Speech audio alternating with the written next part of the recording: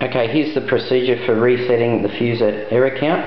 Okay, hold down both the 0 and the 8 buttons with your fingers like so and keep holding them.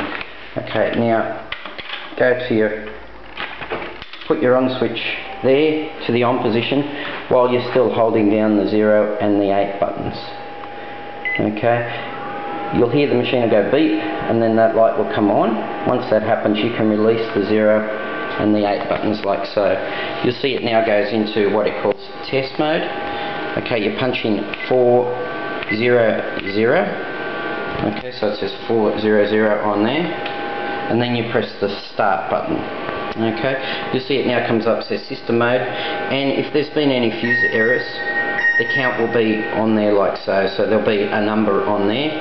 Okay, so you just press 0 and then you press the interrupt button to enter it. And you'll see it'll just go back to error mode. You can check that it's set that to zero by going back into 400, press the print, and it should say what it says here now. System mode 00. Okay, so that zeroed out the error for the fuser unit. So the machine's right to go. Okay, so you can just, once you've done that, you can just press uh, 0 actually just turn it off and on again. It's the simplest. So turn it off and back on again and then it would have reset the fuser error count on there